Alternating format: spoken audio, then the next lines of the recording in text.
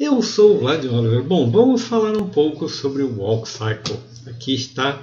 Esse aqui é um Walk Cycle, como eu já mostrei para vocês. Isso aqui é uma imagem capturada da Mixama, um movimento pronto da Mixama, ok?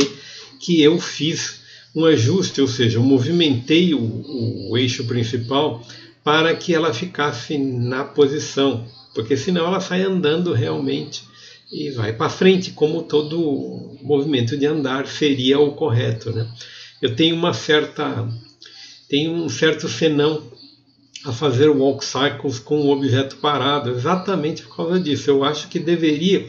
Uma das maneiras de você resolver esse processo aqui é que é o seguinte: muita gente faz errado, e isso aqui é um erro é, recorrente, é, que é o seguinte: você tem fórmulas, vejam só, agora Ctrl Tab, eu estou gastando, né, cara? Você vem aqui, Ctrl Tab e você muda o teu objeto. Vamos clicar aqui. Uh, aqui está a sua. Existe a possibilidade de você vir aqui, deixa eu ver, eu não sei se eu. Aqui, deixa eu ver, Insert Keyframe, deixa eu ver, Shift E. É... Bom, Aqui tem Constant Extrapolation, Linear Extrapolation, Make Cycle, tem uma série de coisas aqui. O nosso amigo Pierre Picot, ele vai falar sobre alterações em keyframes, alterações no processo, etc, etc. Uma das sugestões que eu daria é o seguinte, em vez desse troço se mover continuamente aqui, eu deveria adicionar keyframes aqui e fazer ele se mover aos solcos, porque isso permitiria que a animação fosse... É, quebrada, né? ou seja, que a cada ponto você tivesse uma. É, você não tivesse um escorregamento no momento em que ela toca o solo, o, o, objeto continuar se movendo para frente, significa que ela é um, uma espécie de é, moonwalker, né? Ela está escorregando, o pé está escorregando pelo solo e não é isso.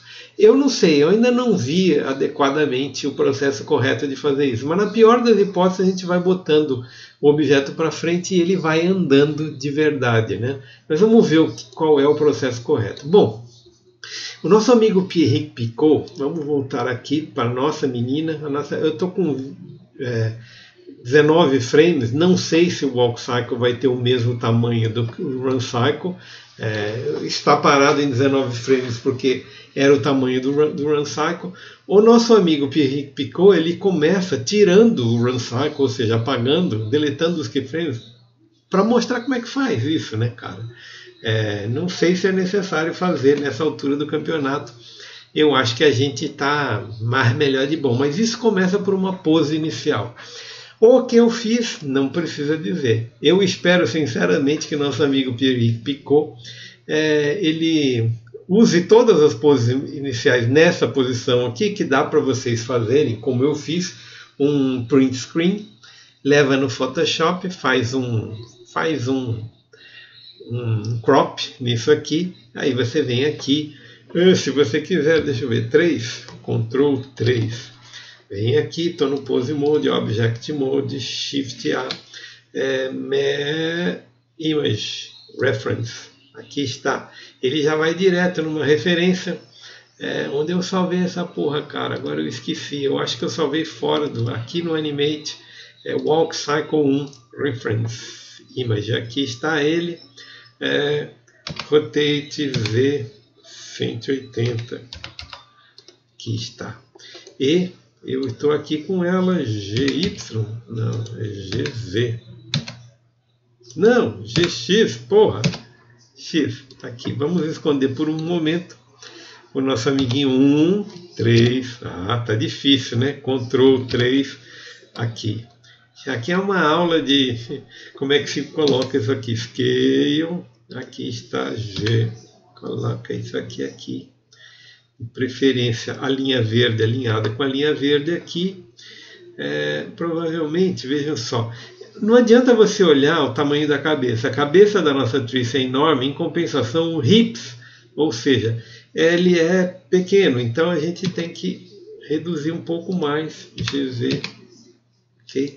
Esta posição aqui que tem que casar, não a cabeça. A cabeça eu sei que a, a nossa a nossa cabeçona é maior. Então isso aqui é a primeira coisa. Agora Em termos de ação, de técnica, não vai diferenciar em nada. Então vamos lá, o Walk Cycle 1 Save.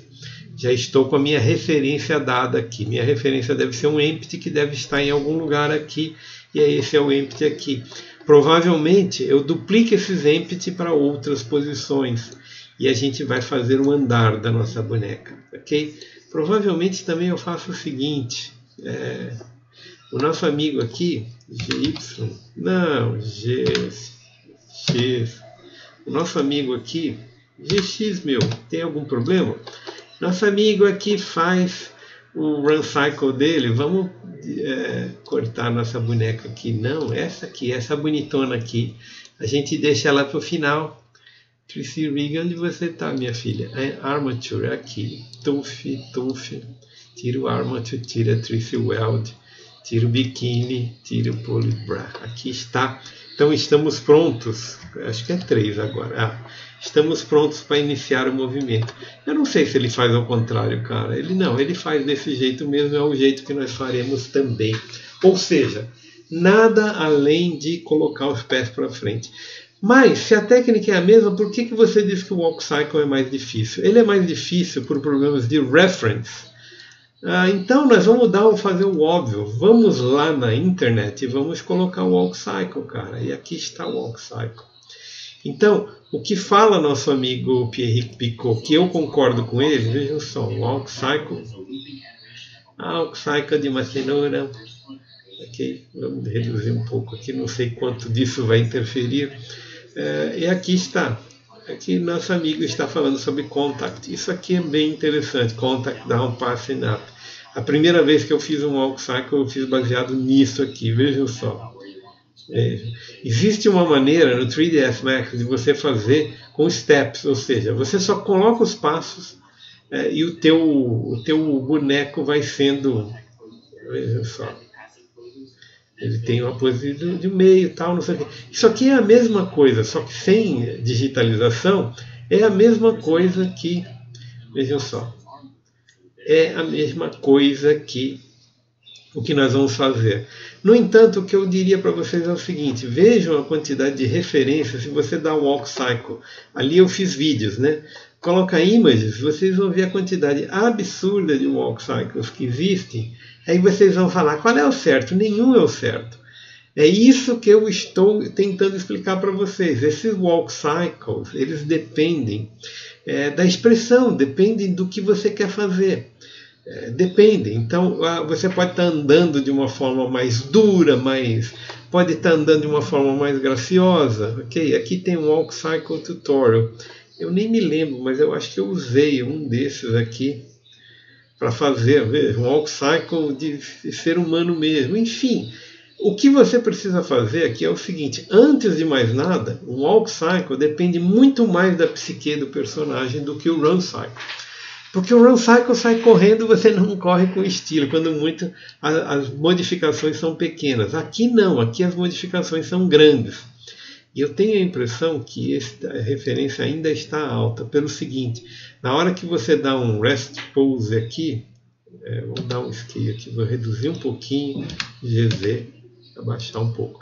É, ou seja, a primeira coisa que eu vou fazer na Trice é, Pose Mode, a primeira coisa, a primeira, a posição zero aqui é clicar neste objeto, que é o meu root 3, e abaixá-lo um pouco.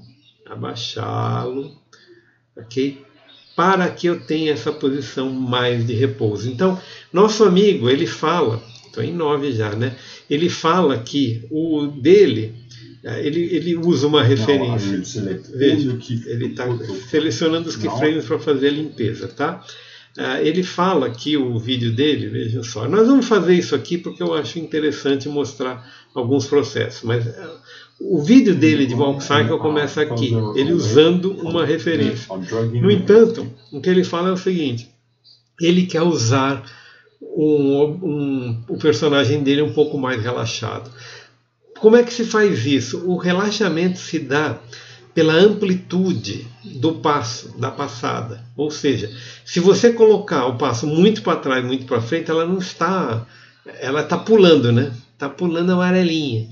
Se você usar os passinhos muito pertinhos um do outro, ela está usando, ela está fazendo, um, um, ela está com animação de japonês, né, cara? É isso, é isso que eu estou querendo dizer. Ou seja, é, precisamos tomar cuidado com o que faremos em termos de arco. Eu pretendo fazer um arco parecido com o dele, vejam só. Isso aqui significa que, é três, né? Significa que o, a, o pé da frente vai ter este movimento aqui, ok? E é, o rotate dele, rotate aqui. Não precisa ser muito, ok? G aqui. Vejam que se eu coloco automaticamente eu preciso colocar, vejam, é, eu preciso colocar este objeto aqui, ou seja, o, o, o eixo aqui, de mais para baixo, para eu ter um pouco mais de amplitude. Agora eu vou ter que descobrir, vejam, aqui também G, move um pouco o objeto para trás e dá um rotate nele, rotate aqui, vejam só. Eu diria para vocês o seguinte: isso depende de você, de você saber aonde está a posição. Deixa eu ver, aqui não, é só isso aqui, é este aqui que você abaixa um pouco, ok? Se você quiser o teu objeto é, numa posição, vejam só, aqui está, e ela, o pé dela vai bem para fora, né? Ela anda meio é, 10 para as duas, ela anda com é, patinando, né? chutando os pés para fora. Eu preciso botar esse pé para dentro quando, quando a gente for fazer o troço para valer. Bom, o que eu queria falar sobre reference é isso, ou seja, pesquisem bastante, vejam o que vocês pretendem fazer e estou até inclinado a desligar o iKey aqui. É, como é que desliga? Você vem no tool aqui, é, F key, iKey, Snap aqui, esse aqui, né? Se eu não me engano, você puxa isso aqui para menos mil, cara, ou puxa para mais, eu não sei. Eu não sei direito, eu preciso ver direitinho, Ctrl Z. Ai meu, é zero, né? Zero, zero. Não, é zero. Aqui, zero está no meio, né? Então deixa eu ver aqui. G. É, eu estou meio inclinado a não fazer dessa forma ou então a usar os eixos bem claramente aqui para fazer direito. Bom, eu estou em 1244, por enquanto é isso aí, nos vemos no próximo vídeo e eu já vou colocar isso aqui como file, save as, é, Walk Cycle 2, porque já está numa pose inicial. Por enquanto é isso aí.